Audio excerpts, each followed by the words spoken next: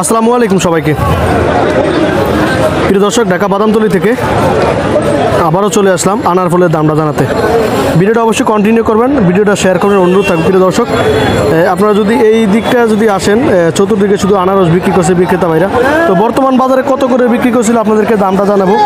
তো অনুরোধ থাকবে আমার একটাই ভিডিওগুলো বেশি বেশি শেয়ার করবেন আর ভিডিওতে লাইক দেবেন এটাই আর কি। তো চলুন বিক্রেতা ভাই আছে আমরা বিক্রেতা ভাইদের সাথে সরাসরি কথা বলি। আসসালামু আলাইকুম। ওয়ালাইকুম সালাম। ভাই কেমন আছেন? আলহামদুলিল্লাহ ভালো আছি। আপনার নামটা একটু বলেন। আমার মোহাম্মদ ফারুক হোসেন। ফারুক ভাই। জি। কোন তো এই যে জায়গাটা বসেছেন কি জায়গা এটা? নামটা কি? নামটা এটার নাম বাদামতলি। বাদামতলি। আচ্ছা। তো ভাই আপনার আরোদের নামটা কি একটু বলেন? না আপনার আরোদের নাম? আমার নাম মুন্নমা এমবিবিএস। আচ্ছা কেউ যদি আসতে চায় আপনার আড়ত থেকে সরাসরি আইসা আনার ফলকে নিতে পারবে? হ্যাঁ ইনশাল্লাহ নিতে পারব। আচ্ছা সকাল কয়টা থেকে থাকেন বা বিকেল দুপুর কয়টা পর্যন্ত থাকেন? ভোর পাঁচটা থেকে বিকাল দুটো পর্যন্ত।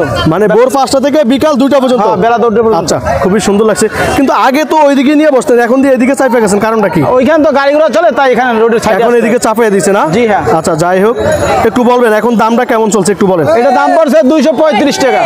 দুইশো পঁয়ত্রিশ টাকা? Per KG. আচ্ছা এখন তো শুধু ইন্ডিয়া থেকে আসে না? জি হ্যাঁ। ইন্ডিয়া থেকে আসে। আচ্ছা ইন্ডিয়া ছাড়া মিশরেটা কি আসে এখন? মিশরটা কি আসার সম্ভব আসা না এখন আসে না। এখন তো গুজরাটিটা বেশি। এখন মোটামুটি এখন ইন্ডিয়া থেকে বেশি আছে। জি হ্যাঁ, ইন্ডিয়া কি নাসিক? নাসিক না এখন আছে গুজরাট। আচ্ছা গুজরাট থেকে আসে। তো এটা এটা আগে নিজেটা গেছে এর আগে। ভাই দুইশো পঁয়ত্রিশ না? জি। এটা আরও আমি যদি আপনারা বলি আরও এক মাস আগে এটার দাম কেমন ছিল এই আনার ফলটার দাম দাম ছিল তিনশো টাকার মতো। মানে তিনশো টাকার মতো ছিল আরও এক মাস আগে? জি হ্যাঁ। আর এখন সেটা দুশো পঁয়ত্রিশ। দুশো পঁয়ত্রিশ টাকা। দুইশো পঁয়ত্রিশ টাকা। আর এগুলো কত করেছেন এগুলো এগুলো? একই রেট এটা একই দাম। এগুলো সব একই দাম? জি হ্যাঁ। আচ্ছা এগুলো এগুলো কি ওই ভাইয়ার?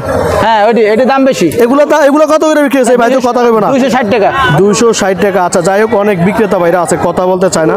হয়তো কোনো প্রবলেমের কারণে নাকি? জি হ্যাঁ। তো অনেক ইনফরমেশন দিচ্ছেন আসলে আপনাদের এই ইনফরমেশনের কারণে অনেক বিক্রেতা যারা ব্যবসা করতে চায় বেকারত্ব আছে চাকরি পাচ্ছে না।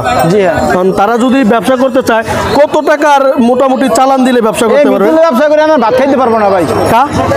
দাম বেশি পাক খাইতে চায় না গেলবারে আনার বেশি একশো দেড়শো টাকা আর এবছর যদি সেই আনার হয় দুইশো আড়াইশো টাকা তা পাবলিক কেমনে খাইবো? না এখন যেটা বলতে চাইছিলেন যে মানে গত বছরকার তুলনায় এই বছরের সব কিছুর দাম নিত্য পণ্যের দাম বিভিন্ন পণ্যের দাম বাড়ার কারণে কিন্তু সব কিছুর দামই বাড়ছে। জি হ্যাঁ। শুধু যে আপনার আনারের দাম বাড়ছে এটা না সব কিছুর দামই বাড়তি এখন। তা তুলনামূলক সবচেয়ে বেশি বাড়ছে এইটাই আমার মতে। মানে তুলনামূলক আনারের দামটা বেশি বাড়ছে। টিকিট করে সিন্ডিকেট এই জন্য দাম লাগে আর ক্রেডিট লাগে পাঁচশো টাকা। হোটেল এসে আঙ্গ ভ্যাট দাম লাগে পাঁচশো টাকা পাবলিক কেমনে খাইবো। খালে নালে খালি গাঁয়ে এলা সরকার আঙ্গুর দিয়ে নি খালে নালে গাঁয়ে এলা কাকার কথা হইছে কাকার কথা যেটা বলছে আসলে সিন্ডিকেটের কারণে মালামালের দাম কিন্তু ডিউটি বেশি বাড়ছে। পার কেটে পাঁচশো টাকা দাম লাগে তা কেমনে কেজিতে একশো বিশ টাকা দেওয়া লাগে ভ্যাট।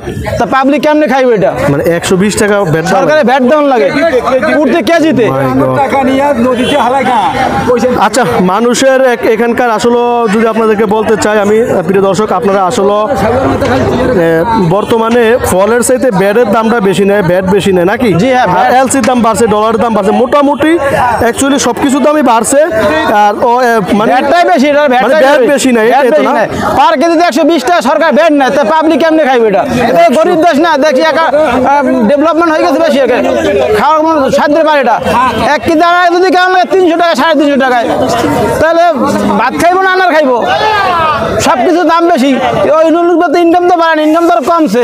আপনার আবার তো বেতন বাড়ে নাই। না বেতন তো এখানে বাড়ে না খালি ট্যাক্সই বেশি নিতে আছে। ব্যাগ সব মালের দামের তো বেশি শুধু একটা নানার না শুধু সব মালের দামের তো বেশি। ধন্যবাদ ভাই ভালো থাকবেন।